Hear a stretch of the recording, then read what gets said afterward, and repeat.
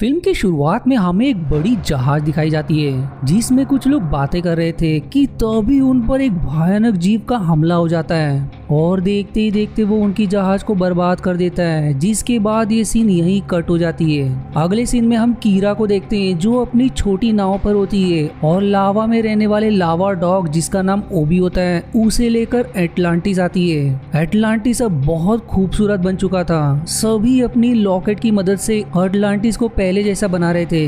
कीरा वहाँ से माइलो के पास आती है और जब दोनों बात कर रहे होते हैं कि तभी वहाँ कुछ लोग आकर कीरा को बताते हैं कि अटलांटिस में कुछ घुसपैठी आ रहे हैं। पर माइलो उन्हें देखकर समझ जाता है कि ये कोई घुसपैठी नहीं, बल्कि उनके दोस्त है। उनके साथ मिस्टर व्हाइटमोर भी होते हैं। मिस्टर व्हाइटमोर उन्हें कहते हैं कि हम सभी तुम्हें यहाँ मिलने आए हैं। अब जब सभी खाना खा रहे होते हैं तो मिस्टर व्हाइटमोर कहते हैं कि अटलांटिस के ऊपर सरफेस पर लोगों ने एक बड़े राक्षस को देखा है, जिसने जिसने बहुत तबाही मचाई है। हमें लगा कि वो अटलांटिस का ही है, जिस पर कीरा बताती है कि शायद वो लेवियाथन है। मेरे पिता ने क्रिस्टल की शक्ति से कई सारे हथियार और राक्षस बनाए, जो समुन्द्र में रहकर अटलांटिस की रक्षा करेंगे। पर अब वो अपने नियंत्रण से बाहर हो गए हैं, जिसके कारण वो तबाही कर रहे हैं। कीरा को इससे बहुत बुरा लगता है कि उसके पिता के बनाए हुए हथियार से निर्दोष लोग मारे जा रहे हैं। अब कीरा और माइलो धरती की सरफेस पर जाने का तय करते हैं, ताकि वो उसे मार सके।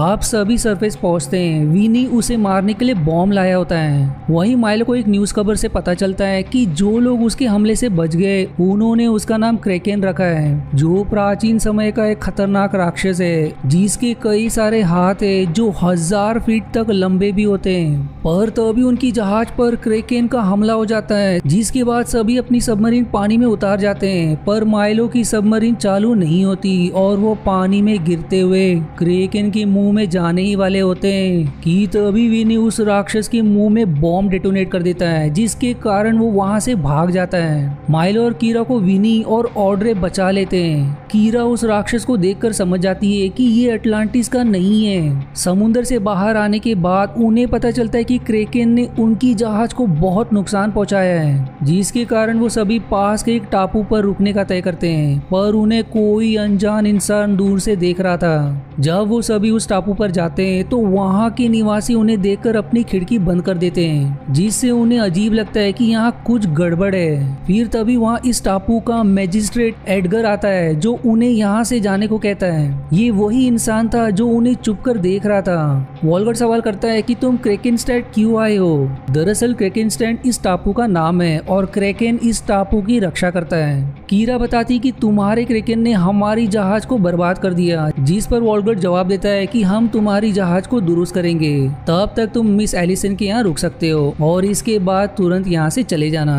सभी जब मिस एलिसन के वहाँ जाते हैं तो एलिसन उन्हें एक शॉकिंग जानकारी शेयर करती है कि वॉलगर्ड ने शैतान के साथ सौदा किया था कि वो कभी नहीं मरेगा। उसकी चारों ओर काली शक्ति है, जिसके कारण ये पूरा टापू बर्बाद हो रहा है। जब तक वॉलगर्ड की शक्ति खत्म नहीं होगी, तब तक ये टापू पहले जैसा नहीं हो पाएगा। आगे वो ये भी उन्हें चेतावनी देती है कि तुम वॉलगर्ड से मत उलझना और जितनी जल्दी हो सके यहाँ से चले जाना। अब रात को सभी वॉलगढ़ का पीछा करने जाते हैं, पर कोहरे के कारण वॉलगढ़ उन्हें दिखाई नहीं देता। पर तभी उन्हें कुछ रोशनी दिखाई देती है और जब वो आगे बढ़ते हैं तो भाग्य से खाई में गिरने से जस्ट बच जाते हैं। और ऑर्डरी अंत समय में गिरने ही वाली होती है कि मोल समय पर आकर उसे बचा लेता है। दूसरी तरफ़ वॉलगढ़ एलिसन के घर आकर कहता है कि उन सभी का सामान जला दो, पर वो सभी वहाँ ही होते हैं, जिसके कारण वॉलगढ़ वहाँ से चला जाता है।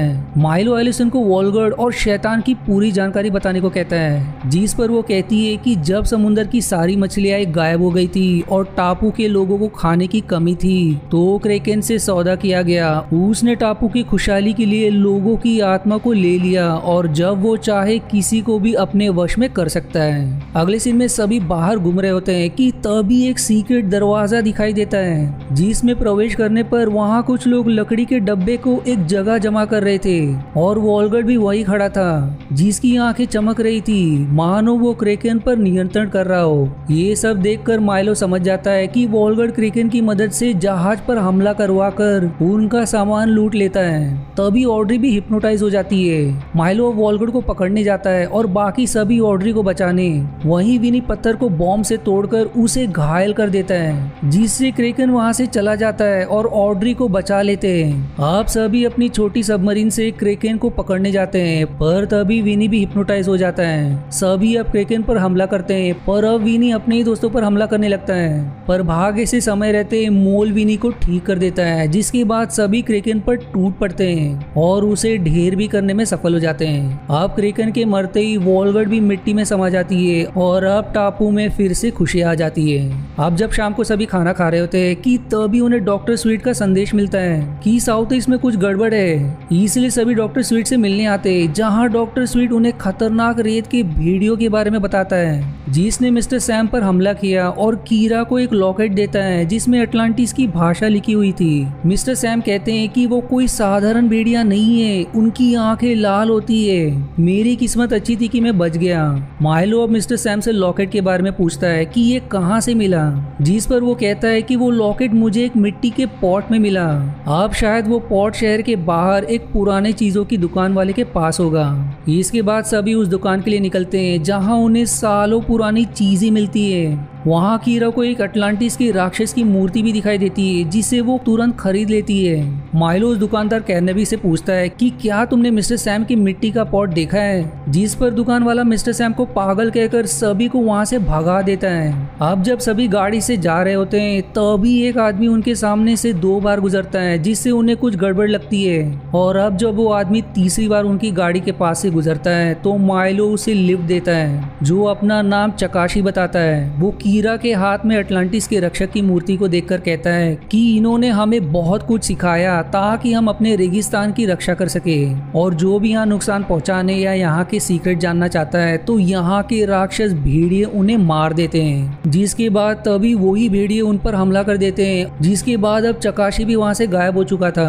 उन भेड़ियों के हमले के कारण उनकी गाड़ी भी खराब हो जाती है। पर तभी कीरा कहती है कि हम फिर से उसी दुकान के पास आ गए हैं। आप सभी कैनेबी के पास आते हैं, क्योंकि उन्हें उस पर शक था कि वो कुछ छुपा रहा है। तभी मोल को उसकी गाड़ी से वही मिट्टी का पॉट मिलता है, जिस पर कैनेबी कहता है कि ये पॉट मुझे मिस्टर सैम के घर पर मिला था, और मिस्टर सैम को ये पॉट एक गुफा में मिला था। यदि हम इस पॉट को उसकी जगह रख दे तो शायद ये भेड़िए भी इस रेगिस्तान से चले जाएँगे।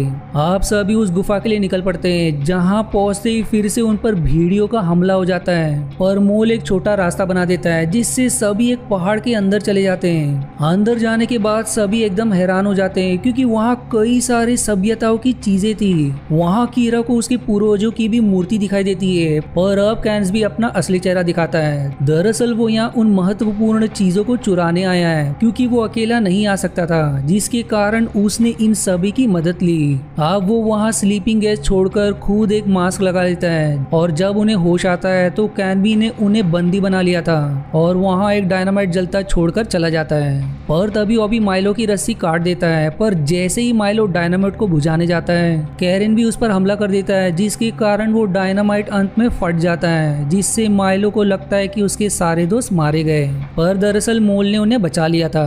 अब वहाँ कई भीड़े आने लगते हैं, और कैरिन भी को भी अपने जैसा बना देते हैं। पर वो भीड़े माइलो और उसके दोस्तों पर हमला करने वाले थे, कि तभी माइलो उस मिट्टी के पॉट को उसकी जगह रख देता है, जिसके बाद वहाँ चकाशी प्रकट होता है, और वो इन्हें देखकर समझ जाता है कि ये लोग बुरे नहीं है। पर वो उन्हें यहाँ से जाने को भी कहता है, क्योंकि उन्होंने उसका राज जान लिया, जिस पर कीरा कहती है कि हमारे पास भी हमारा सीक्रेट है, जिस पर चकाशी जवाब देता है कि बताओ मुझे वो क्या है। पर माइलो कहता है कि हम नहीं बता सकते, जिसके बाद चकाशी उन्हें गुफा से बाहर ले आता है और उनसे कहता है कि यदि तुमने अपना सीक्रेट मुझे बता दिया होता तो मैं समझ जाता कि तुम मेरे सीक्रेट को भी दुनिया को बता दोगे। चकाशी कीरा का शुक्रिया करता है, क्योंकि अटलांटिस के रक्षक ने उन्हें बहुत कुछ सिखाया है। जिसके बाद चकाशी वहाँ से गायब हो जाता है। अब सभी वहाँ से मिस्टर व्हाइटमोर के पास आते हैं, जो उनसे कहते हैं कि कल रात एक चोर ने मेरा सबसे महत्वपूर्ण भाला चुरा लिया, जिसके बाद हमें कल रात का सीन दिखाया जाता है, जहाँ वो चोर मिस्टर व्हाइट के घर आकर एक भाला चुरा लेता है और उस भाले को लेकर कहता है कि मैं इस भाले के साथ अब ओडिन बन चुका हूँ और मैं दुनिया को खत्म कर दूँगा और देखते ही देखते उस भाले से बिजलियाँ निकलने लगती है, जिसके बाद वो कहते हैं कि मुझे एक इंसान पर शक शक है, जिसका नाम एरिक है। उसने एक दिन बहुत बड़ा कैसल खरीदा और उसका नाम एसगढ़ रख दिया, जिसके बाद लोगों ने उसे ओडिन नाम दिया, जो उसे बहुत अच्छा लगता है। पर एक दिन उसका बिज़नेस डूब गया और उसने अपना सब कुछ खो दिया, जिस पर उसका बहुत गहरा असर हुआ, जिससे उसका दिमागी संतुलन भी बिगड़ गया। कुछ दिनों पहले उसने मुझे फ़ोन करके कहा था कि उसे वो भाला चाहिए, पर मैंने उससे मना कर दिया था। वो रैगनोरक के बारे में बात कर रहा था कि वो दुनिया को बर्बाद कर देगा। तभी माइलो को लगता है कि उसने उस भाले के बारे में शेपर्ड की किताब में पढ़ा है, जहाँ उसे मालूम पड़ता है कि वो भाला अटलांटिस का है, जो सुनकर कीरा उदास हो जाती है क्योंकि लोग अटलांटिस की चीज़ों का गलत प्रयोग कर रहे हैं। पर मिस्टर व्हाइटमोर कहते हैं कि एरिक आइसलैंड में रहता है, जिसके बाद अब सभी एक प्लेन से आइसलैंड के लिए निकलते हैं। वहाँ पहुंचकर उन्हें हेलस्टॉम का एसगढ़ कैसल हवा में उड़ता दिखाई देता है, और फिर तभी उन पर एक बर्फ़ का बना हुआ राक्षस हमला कर देता है, जिससे उनका प्लेन नीचे क्रैश हो जाता है। पर भाग्य से वो सभी बच जाते हैं, पर तभी वो राक्षस फिर से उन पर हमला करता है और अब विनी उस पर रॉकेट लॉन्चर से हमला करके उसका हाथ उड़ा देता है। पर इससे भी उसे कुछ नहीं होता और वो सभी को जमा कर हेलस्टॉम के पास लेकर आता है, जो भाले की बिजली उसे ऊपर जमे हुए बर्फ़ को हटाता है, जिसके बाद माइलो उसे समझाने की कोशिश करता है कि उसे दुनिया को बर्बाद नहीं करना चाहिए। पर हेलस्टॉम को लगता है कि वो एक शैतान है, जिसके कारण वो उस पर हमला कर देता है। पर कीरा उसे समझाने की कोशिश करती है कि भाले की शक्ति तुम्हें बर्बाद कर देगी। पर कीरा को हेलस्टॉम अपनी बेटी ब्रूनहेल्ड समझने लगता है। पर इसी मौके में कीरा उसे भाला छीन लेती है और तभी हेलस्टॉम पर भीड़िया हमला कर देता है, जिससे कीरा बेहोश हो जाती है। अब हेलस्टॉम माइलो और बाकी पर हमला करके उन्हें एसगढ़ से बाहर निकाल देता है। पर वो सभी एक पत्थर से लटक जाते हैं, जिसके बाद मोल खुदाई शुरू करता है। दूसरी तरफ़ कीरा को होश आता है तो वो ब्रिंडल के कपड़े में होती है। कीरा सवाल करती कि उसके दोस्त कहाँ हैं? जिस पर वो कहता है कि मैंने उन्हें एसगढ़ से बाहर फेंक दिया और वो कीरा को अपने साथ चलने को कहता है, ताकि वो रैग्नारोक को तैयारी कर सके। पर तभी कीरा को मोल दिखाई देता है, जिससे वो समझ जाती है कि बाकी सभी आ रहे हैं और अब वो हेलस्टॉम के साथ चली जाती है। दूसरी तरफ़ हेलस्टॉम कीरा को लेकर एक लावा के पास जाता है। वहीं माइलो और बाकी सभी एक दरवाजे को तोड़कर उसका स्केटबोर्ड बनाकर ढलान से नीचे उतरने लगते हैं। पर तभी उनके पास वही बर्फ़ का राक्षस आ जाता है। विनी उस पर फिर से बॉम्ब फेंकता है और अब वो उससे बचकर आगे बढ़ जाते हैं। पर वहीं हेलस्टॉम लावा की मदद से एक और राक्षस को बनाने वाला होता है, जिस पर कीरा उसे ऐसा ना करने की विनंती करती है, जिसके दौरान बाकी सब वहाँ पहुँच जाते हैं। पर हेलस्टॉम भाले की मदद से लावे से एक शैतान बना ही लेता है। माइलो अब हेलस्टॉम से लड़ने लगता है और इसी बीच वो भाला हेलस्टॉम से गिर जाता है। पर अग्नि का बना हुआ राक्षस उस भाले को लेकर वहाँ से भाग जाता है और बर्फ़ के राक्षस से मिलकर दुनिया को बर्बाद करना शुरू कर देता है। पर तभी विनी एक और बॉम्ब विस्फोट करता है, जिससे बर्फ़ के राक्षस को लगता है कि ये आग के राक्षस ने किया, जिसके कारण दोनों अब लड़ने लगते हैं और वो भाला उनसे छूट जाता है, जिसे कीरा तुरंत पकड़ लेती है। पर अब वो राक्षस कीरा की तरफ़ बढ़ रहे होते हैं कि तभी कीरा अपने लॉकेट और भाले की मदद से पूरा एसगर्ड कैसल उन राक्षसों पर गिरा देती है, जिससे वो दोनों वहीं ढेर हो जाते हैं, जिसके बाद सभी फिर से अटलांटिस लौट जाते हैं। मूवी के आखिरी सीन में कीरा कहती है कि मैं अटलांटिस की शक्ति को सिर्फ़ अटलांटिस तक ही सीमित रखना चाहती हूँ। इसे सारी दुनिया के सामने लाना चाहती हूँ, ताकि अटलांटिस की शक्तियों से सरफेस की ऊपर के लोगों को भी मदद मिलेगी। जिसके बाद कीरा अपने भाले को ज़मीन पर मारती है, जिससे अटलांटिस के राक्षस फिर से जाग जाते हैं, और अटलांटिस पर सुरक्षा कवच बनकर उसे समुन्द्र के अंदर से धरती के सतह पर ले आते हैं। हज़ारों साल बाद सतह पर आने के कारण अटलांटिस के सभी लोग बहुत खुश हो जाते हैं। जिसके बाद हमें एक बैकग्राउंड वॉइस में बताया जाता है कि अटलांटिस के सतह पर आने के बाद धरती पहले से और भी सुंदर हो गई है और इसी हैप्पी एंडिंग के साथ ये मूवी यहीं समाप्त हो जाती है। आशा है आपको मेरी एक्सप्लेनेशन पसंद आई। यदि हाँ तो प्लीज़ वीडियो को लाइक करना और चैनल को सब्सक्राइब करके सपोर्ट करना ना भूलें। मिलते हैं अगले एक्सप्लेनेशन वीडियो में। तब तक के लिए धन्यवाद दोस्तों।